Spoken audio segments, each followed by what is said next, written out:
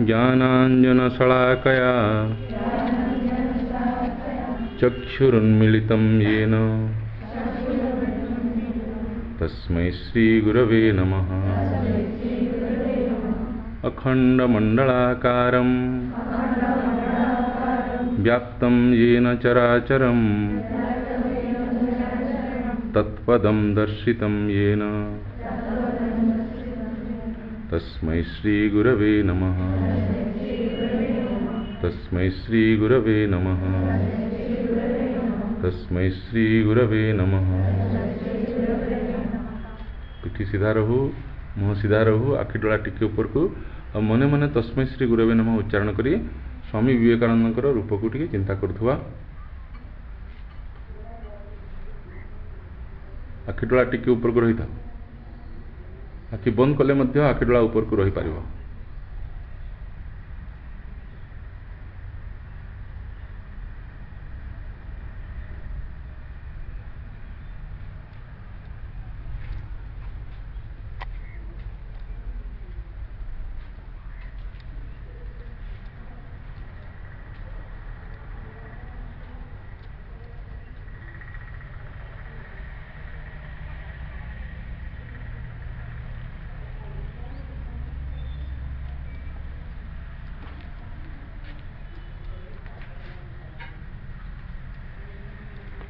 ଶ୍ୱାସ ପ୍ରଶ୍ୱାସର ଗତିକୁ ପରିବର୍ତ୍ତନ ନ କରି କେବଳ ସେଥିପ୍ରତି ସଚେତନ ହେବା ଶ୍ୱାସ ପ୍ରଶ୍ୱାସ ଯେଉଁ ଆମର ଚାଲିଛି କେମିତି ଶ୍ୱାସ ଭିତରକୁ ଆସୁଛି କେତେ ଭିତରକୁ ଯାଉଛି ପୁଣି ବାହାରକୁ ଯାଉଛି ବାହାରେ ଗୋଟେ କ୍ଷଣ ରହୁଛି ପୁଣି ଭିତରକୁ ଗୋଟେ ନୂଆ ଶ୍ୱାସ ଆସୁଛି।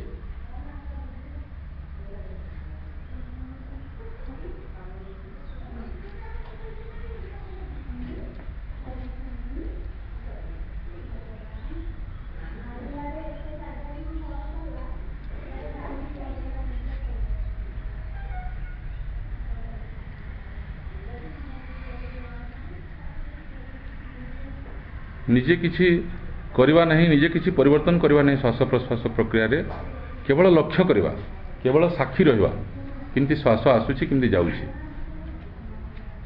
ସହଜ ଶ୍ୱାସ ସାଧାରଣ ଶ୍ୱାସ ଯେମିତି ଚାଲେ ସେମିତି ଚାଲୁ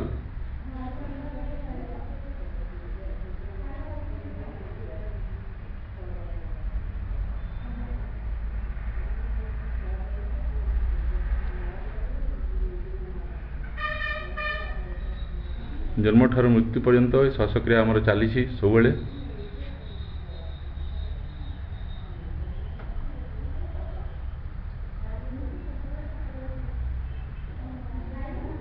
ଗଭୀର ନିଦ୍ରା ସମୟରେ ଶ୍ୱାସର ଗତି ଧୀର ହେଉଛି ଗମ୍ଭୀର ହେଉଛି। ଯେତେବେଳେ ଆମେ ଦୌଡ଼ୁଛୁ ସେତେବେଳେ ଶ୍ୱାସ ତୀବ୍ର ହେଉଛି। ଦୁଇଟି ଶ୍ୱାସ ଭିତରେ ଯେଉଁ ସନ୍ଧି ଅଛି ଗୋଟିଏ ଶ୍ୱାସ ବାହାରକୁ ଗଲା ଆଉ ଗୋଟେ ନୂଆ ଶ୍ୱାସ ଆସିବ। ଏଇ ଯେଉଁ ସନ୍ଧି ଜାଗା ଯେଉଁ ବାହାରେ ଅଛି ତାକୁ ଭଲ କରି ଲକ୍ଷ୍ୟ କରିବା।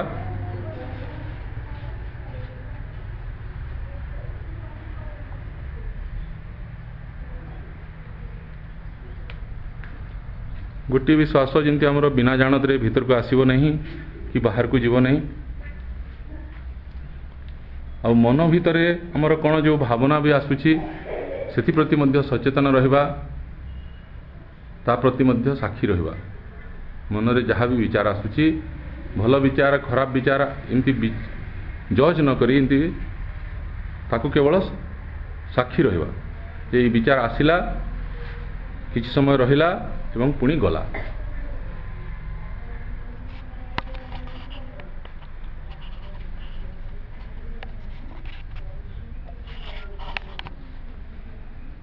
ଯେମିତି ଆକାଶରେ ଲାଲ ବାଦଲ କଳା ବାଦଲ ଧଳା ବାଦଲ ଯେମିତି ଆସେ ରହେ ଏବଂ ଚାଲିଯାଏ ଠିକ୍ ସେମିତି ଆମ ଚେତନା ରୂପକ ଆକାଶରେ ବିଚାର ବା ଭାବନା ରୂପକ ବାଦଲ ଆସେ ରହେ ଏବଂ ଚାଲିଯାଏ ସେମାନେ ଆଗନ୍ତୁକ ପଡ଼ି ଏବଂ ଆମେ ସବୁବେଳେ ରହିଥାଉ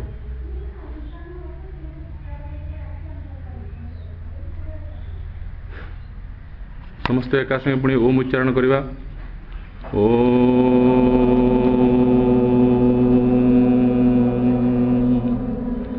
असतो मा सद्गमय